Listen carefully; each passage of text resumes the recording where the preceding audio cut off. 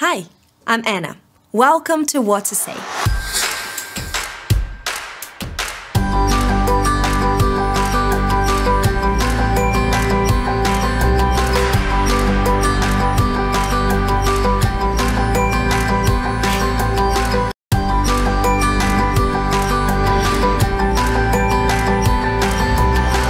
Do you know what to say when you agree and disagree? Listen out for useful language for agreeing and disagreeing. Then we'll practice saying the new phrases.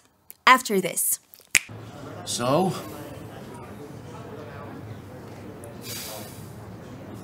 I'm not convinced by that idea.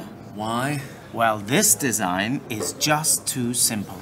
It's not simple, it's minimal. Plus, it's what the client asked for. I'm not so sure. Look. Look at these designs here. I think this is the style that the client wants. Mm, I think I disagree. They said they wanted it clean and minimal. These designs are clean and minimal. Look, don't get me wrong, Amir. I like them, but I don't think they fit the brief. For example, here, there's just a bit too much going on. Okay, I see what you mean, but without all the color, it would look a bit empty. True. Okay, how about taking that and that away? So it still looks interesting, but less busy. Okay, maybe you've got a point there. Actually, that has given me an idea.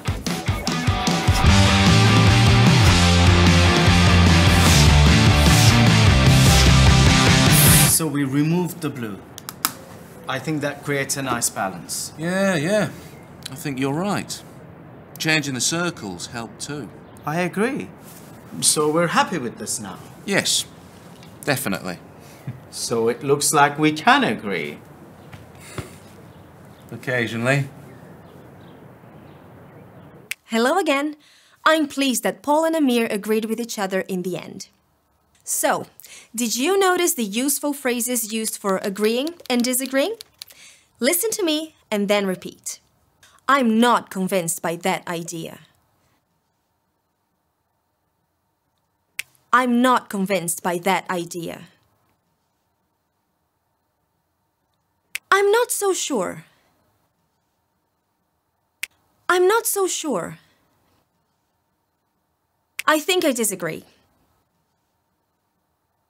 I think I disagree. Don't get me wrong, but I don't think they fit.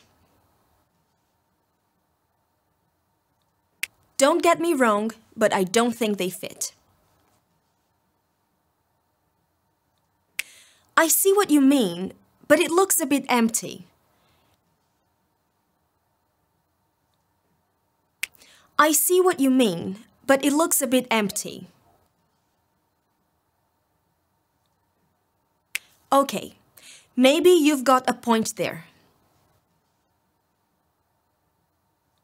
Okay, maybe you've got a point there. I think you're right. I think you're right. Yes, definitely. Yes, definitely.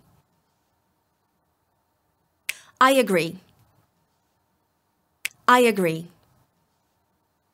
Try and use some of these phrases the next time you agree and disagree in English. Bye for now.